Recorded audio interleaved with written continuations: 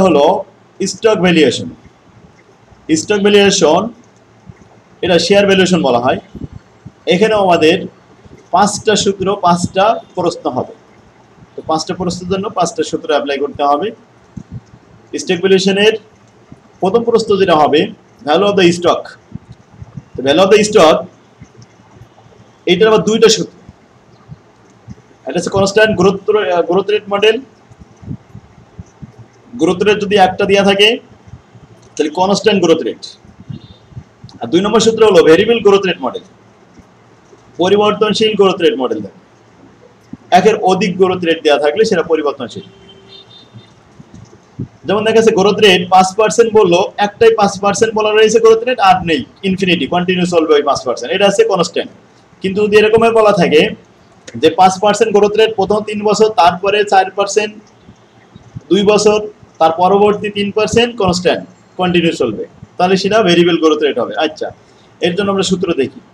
প্রথমে market price per share P জিরোর সূত্র হলো D one by K E minus G আচ্ছা পি জিরোর সূত্র হলো D one by K E minus G R P ওয়ানের সূত্র হলো D two by K E minus G R P three P two সূত্র হলো D three by K E minus G P three সূত্র হলো D four by K minus G এখন ঘটনা হলো পি অর্থ কি? এটা পিতে প্রাইস অফ শেয়ার জিরো এটা কারেন্ট ইয়ার প্রাইস তাহলে বিগিনিং প্রাইস হলো পি জিরো আর পি ওয়ান হলো market price per share end of the first year P two market price per share end of the second year P three market price per share end of the third year এভাবেই।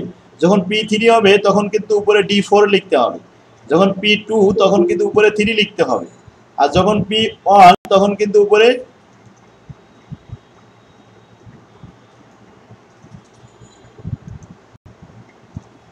Two লিখতে হবে D two আর যখন P zero তখন উপরে D one লিখতে হবে। Clear সবাই বুঝতে পারছে কথাগুলো?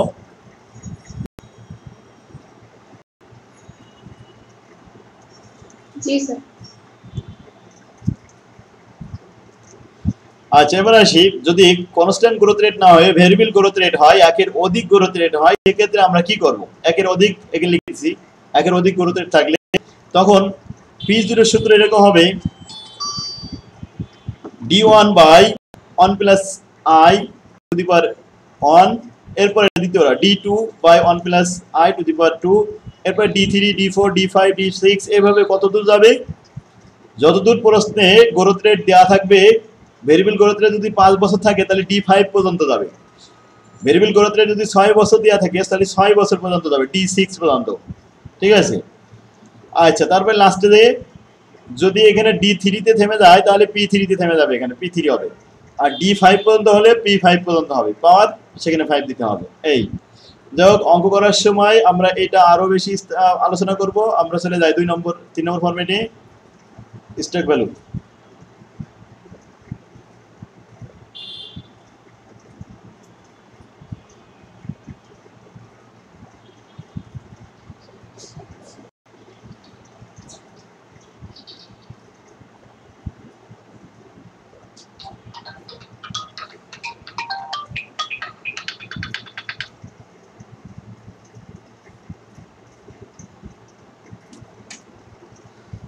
স্টক ভ্যালু সবাই খেয়াল করছে?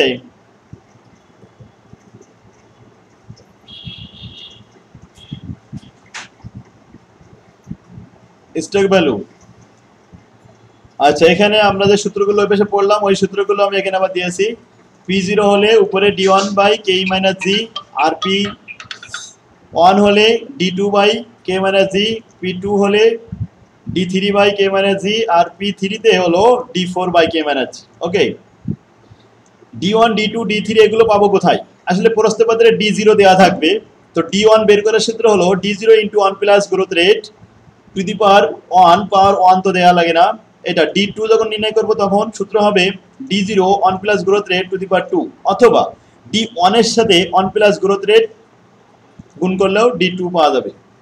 এর পাওয়ার তো ওয়ান আছে।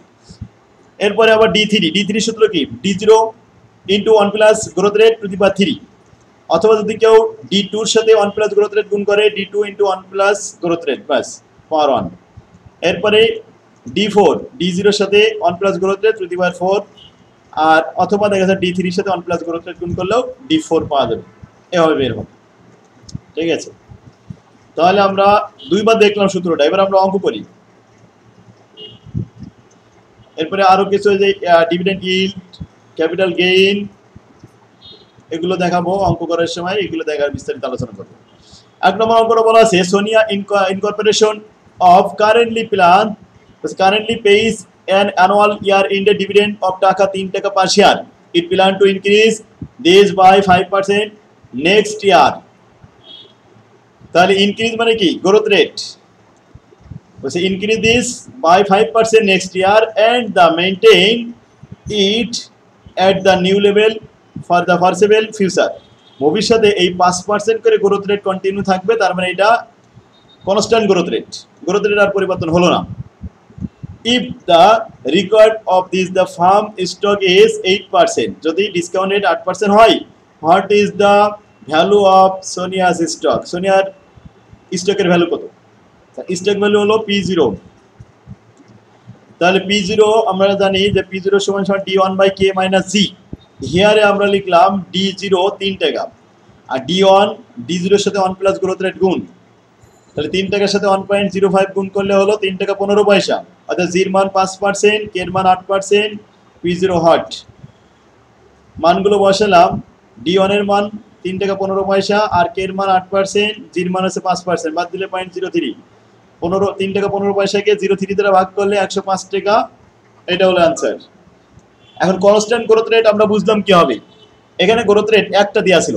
বলছে it plan to increase this by five percent next year growth rate একটাই শুধু গ্রোথ রেট ছিল, তাই না?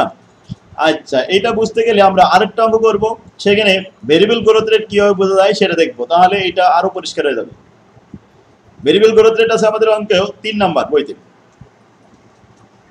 অঙ্কটা বলা আছে Asus computer is explaining a period of rapid growth rate earning and dividend are expected to grow at a rate of পনেরো percent during the next two year পনেরো পার্সেন্ট গ্রোথ রেট পরবর্তী দুই বছর পর্যন্ত চলবে অ্যাট তেরো percent growth rate in the third year only third ইয়ারের জন্য তেরো পার্সেন্ট গ্রোথ রেট তাহলে গ্রোথ রেট আমরা অলরেডি দুইটা পেয়ে গেলাম। পনেরো পার্সেন্ট তেরো পার্সেন্ট এরপরে বলছে and at a constant growth rate six percent thereafter তারপরে সত্তর বছর থেকে কনস্ট্যান্ট গ্রোথ রেট হয়ে যাবে ছয় পার্সেন্ট তাহলে তিনটা growth rate Asus computer last dividend was dividend প্রদান করেছিল বিশ টাকা। And the record rate of the return on this the stock is বারো পার্সেন্ট ডিসকাউন্টেড বারো পার্সেন্ট ক্লিয়ার এখন আমাদের প্রশ্ন পাঁচটা। Calculate the value of the stock today আজকের স্টকের মূল্য কত? পি জিরোর মান কত? উই নো দ্যাট আমরা জানি যে পি জিরো সমান সমান dividend present value of dividend R present value of P three এখন আসছি এখানে, কয় বছর ছিল? আমরা আবার একটু দেখাবো গ্রোথ রেট ভেরিয়েবল কত বছর ছিল? প্রথমে ছিল পনেরো পার্সেন্ট দুই বছর। আর তেরো পার্সেন্ট এক বছর। তাহলে তিন বছর। এরপরে যে সত্তর বছর থেকে ছয় পার্সেন্ট করে হবে। তাহলে ডিভিডেন্ড ওয়ান টু থ্রি তিনটা ডিভিডেন্ড হলো। যদি এখানে ডি থ্রি পর্যন্ত হয়, তাহলে পি থ্রি পর্যন্ত থাকবে। নিচেই one plus K to the power one two three power কিন্তু তিন বছর পর্যন্ত বাস ওকে হিয়ারে আমরা মান লিখলাম ডি জিরো বিশ টাকা। কের মান বারো পার্সেন্ট আচ্ছা গ্রোথ রেট ফার্স্ট এটা পনেরো percent up to two year প্রথম দুই বছর। গ্রোথ রেট সেকেন্ড তেরো percent only for third year শুধুমাত্র থার্ড ইয়ারের জন্য।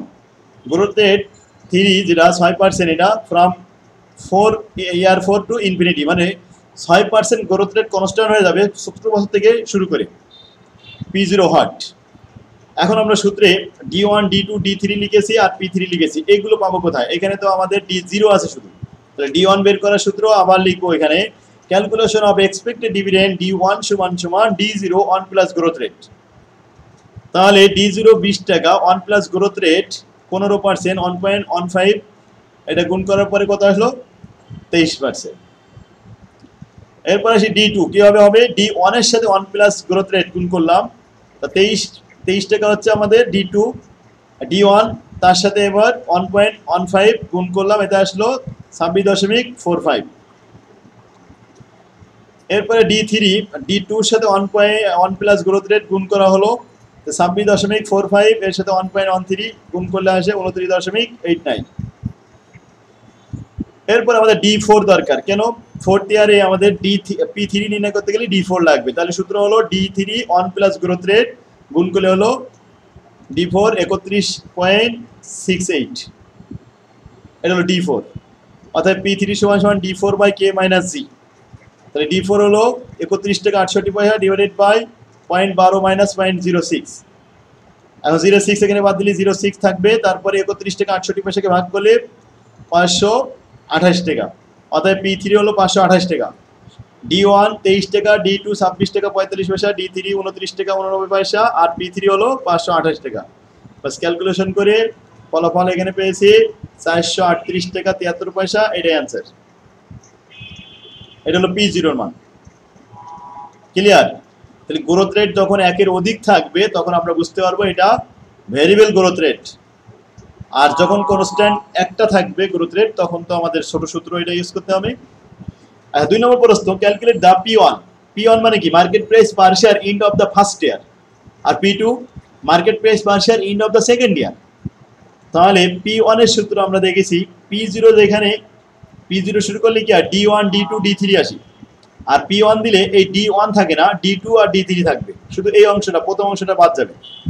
তাহলে আমরা সূত্রটা লিখলাম পি ওয়ান সমান সমান D two by one plus K to the power one D three by one plus K to the power two plus ব্র্যাকেটের ভিতরে পি এখানে ডি থ্রি বলে পি থ্রি আচ্ছা এখন আসি আমরা। ডি টুর মান এখান থেকে আমরা নিতে পারব ছাব্বিশ টাকা পঁয়তাল্লিশ পয়সা।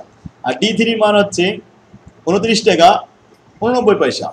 আর বি থ্রি পাঁচশো আঠাশ টাকা আর নিচেই ওয়ান প্লাস কেক এর মাত্র বারো পার্সেন্ট সব ঠিক আছে। ক্যালকুলেশন করে ফলাফল যোগ করে দেখলাম চারশো আটষট্টি টাকা, একচল্লিশ পয়সা। অ্যান্সার শেষ। এরপরে আসি পি টু নির্ণয় করতে হবে। তাহলে পি টু নির্ণয় করতে হলে ডি থ্রি আর পি থ্রি এই দুইটা অংশ আসবে শুধু, আর বাকিগুলো থাকবে না। তো লিখলাম পি ডি থ্রি উনত্রিশ টাকা আটানব্বই, উননব্বই পয়সা, আর পি থ্রি পাঁচশো আঠাশ টাকা। পাওয়ার বছরের সংখ্যা এক এক। ক্যালকুলেশন করে চারশো উননব্বই, আটানব্বই টাকা সতেরো পয়সা অ্যান্সার ক্লিয়ার এরপরের প্রশ্ন তিন নম্বরে calculation of dividend yield dividend yield যখন বলা হয়, তখন first year second year third year তিন বছর, তো প্রথম বছরে dividend one by P zero into hundred D ওয়ানের মান আমরা দেখেছি ক্যালকুলেশনে তেইশ টাকা, আর পি জিরোর মান বেরোয়েছিল চারশো আটত্রিশ টাকা, তিয়াত্তর পয়সা। ভাগ করে একসাথে গুণ করলে পনেরো, পাঁচ দশমিক এখানে five point two four percent second year D two by P one D two মান বেরোয়েছে এখানে আমরা ডি টুর মানটা লিখলাম। ছাব্বিশ টাকা পঁয়তাল্লিশ পয়সা। আর পি ওয়ানের মান লিখলাম চারশো আটষট্টি টাকা একচল্লিশ পয়সা। ভাগ করে একসাথে গুণ করলাম বাস ওকে। থার্ড ইয়ারের জন্য ডি থ্রি ডি থ্রির মান আমরা এখানে বের করলাম। ফলাফল দেখালাম। উনত্রিশ টাকা উননব্বই পয়সা। মান বসায় ক্যালকুলেশন করলাম সিক্স পার্সেন্ট তাহলে ডিভিডেন্ড ইল্ড বুঝতে পারলাম ডিভিডেন্ডকে আমরা পি দ্বারা ভাগ করিলাম। কি ক্লিয়ার সবাই?